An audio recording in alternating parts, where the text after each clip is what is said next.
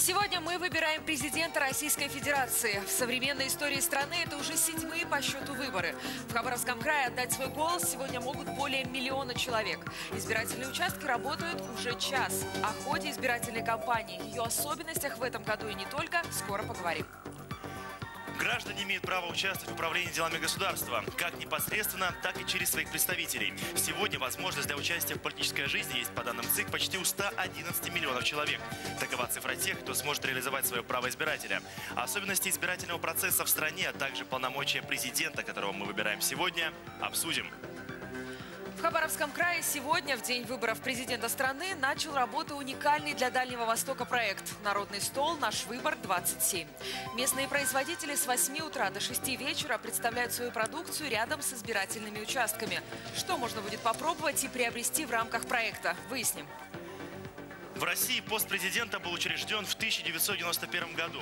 С этого момента выборы проводились уже шесть раз. Впрочем, история избирательного процесса в нашей стране не ограничивается только новейшей историей. О том, кто был наделен избирательным правом, кто мог стать выборным кандидатом и не только, узнаем. Сегодня на всей территории страны впервые смогут проголосовать около 7 миллионов молодых людей. Именно столько насчитывается тех, кто в 2012 году еще не дорос и не ходил на выборы главы государства. А сегодня впервые смогут отдать свой голос. На участках их ждут специальные акции и конкурсы, о которых в том числе подробнее мы поговорим с гостем в студии.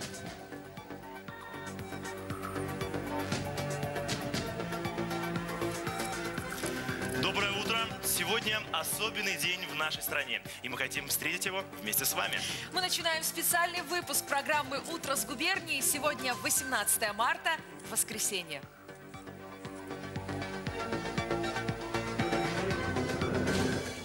Включайтесь в утро. Главные события в городе и крае. Свежие новости, пробки, погода, интересные гости и подарки для зрителей. Начинайте день правильно. Включайтесь в утро с губернией.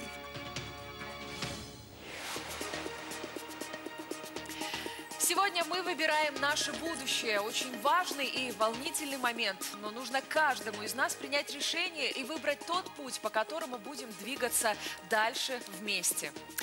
Итак, сегодня граждане России выбирают главу государства на шестилетний срок путем равного и прямого всеобщего тайного голосования.